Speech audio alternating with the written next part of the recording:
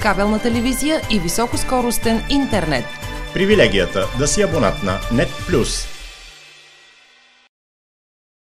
Признание за работа с сърце и обич дойде на тази годишните награди за практикуващи логопеди в България. Името на нашия град се нареди сред градовете с престижните отличия на съсловието, защото логопедът от Петрич Христина Хаджиева беше номинирана, а после и силно подкрепена от петричани в онлайн гласуването.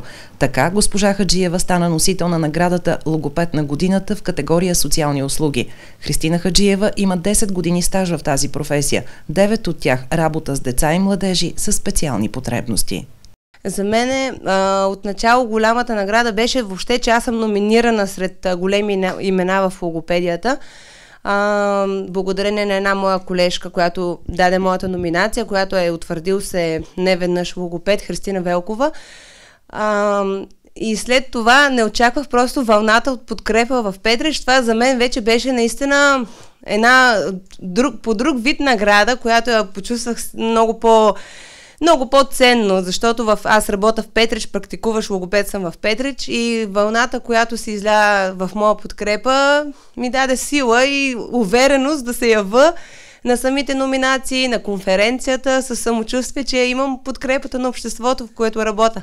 Нека да кажем, че петричани успяха да изпреварят градове далеч по-големи и, и да, и мащабни центрове. Да, това беше най-очудващото и за всички там че нашия малък град а, пребори градове като Пловдив, Бургас, Варна, Русе, областни градове.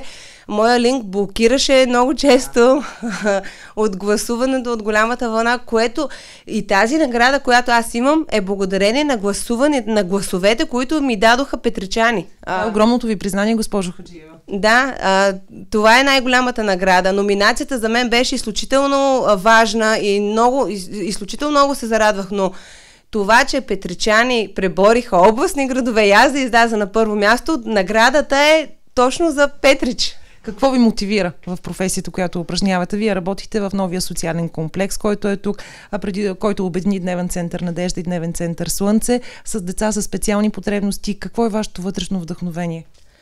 Ами, не мога точно с думи да го изрека. То е или го имаш в себе си да работиш с такива хора, или просто не можеш. А, просто така ми се стекоха обстоятелствата. Когато завърших, работих в а, София в 6-то помощно, след това се върнах в Петрич, започнах в първо в дневен център Слънце по заместване и после в нашия нов център.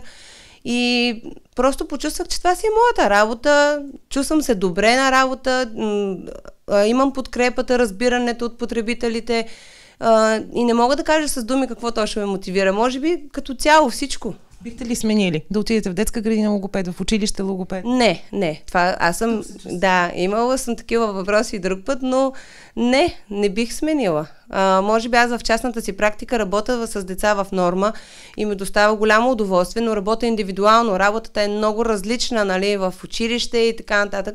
Просто аз съм си намерила мястото. Не, ми, не мисля никога да го сменям. Надявам се да не ми се налага. Какво ще кажете за организацията на тези, за получаването на тези? Да, много е важно да спомена, че Логопедия БГ в лицето на Ива Александрова а, направиха една страхотна организация. Бяха събрали на имена от от, в нашия бранш, в логопедията, големи имена, доказали се автори на учебници, които аз уча.